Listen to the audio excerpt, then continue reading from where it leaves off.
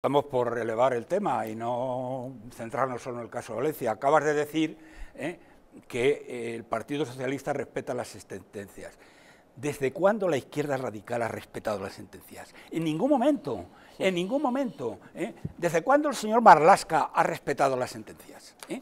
En ningún momento, al contrario, lo que han hecho es a aquellos jueces que han ido contra ellos, los han machacado y los han expulsado de su carrera. Yo he dicho que Como en, por política, ejemplo, en política normalmente respetamos las sentencias judiciales. En política, en cogiendo política, tus palabras, no sé deberíamos qué decir que en política deberían hace- no respetarse las Quizás hay sentencias. un montón de gente que no lo hace, pero en política normalmente acatamos las sentencias judiciales, las respetamos, podemos estar más o menos de acuerdo, pero las respetamos. y en Perdona, un momento que hay pero- una sentencia tan dura en un hecho tan deleznable como ver, este, perdona, pues creo que el Partido no sé Socialista si- tenía que haber hablado. No sé si te entiendo bien o estás hablando en broma.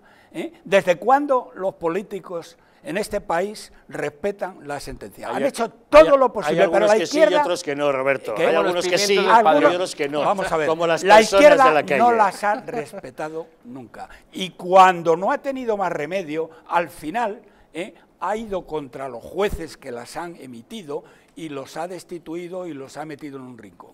O sea, vamos a ser serios, no digamos aquí que los políticos respetan la sentencia. Algunos no respetan nada. Aparte, aparte de que la Constitución les da pie para ello, porque eh, lo que describe la Constitución no es una democracia, señoras y señores, sino un Estado oligárquico de partidos sin separación de poderes. Por tanto, ellos son la justicia. Bien, los según don políticos, Roberto Centeno, la- todos, absolutamente todos los políticos, todos ellos, ninguno de ellos respeta las sentencias de todos los partidos. Es eso, todos y cada uno de los políticos de España.